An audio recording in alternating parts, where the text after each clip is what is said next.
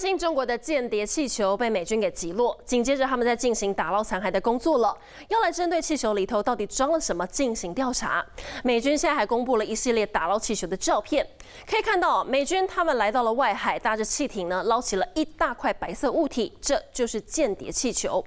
白宫国安会发言人科比就表态，他们不会把气球交还给中方。只是中国外交部发言人毛宁也非常的不满，明确告知美国，这气球不是美国的。只是调查气球不是一件简单的事，美国调查人员必须要从气球的碎片去了解中国的空中监控技术，还要去了解到这个气球到底具备什么样的能力，以及它是怎么做到传输讯息的，还要在调查的过程中确保美方人员不被潜在的危险给伤害。主要是因为担心这个气球里头会有一些化学物质伤害到调查人员，这也让恢复气球装置的工作变得复杂化。美国击落间谍气球之后，也引发了一连串效应，包含美国国防部其实在二月四号的时候有要求要进行一次安全通话，不过中方他们拒绝美方跟中国外长魏凤和来通话。而五角大厦发言人表示，会持续的努力打开沟通的管道。那另外，美国国务卿布林肯他其实也因此暂缓了访中行。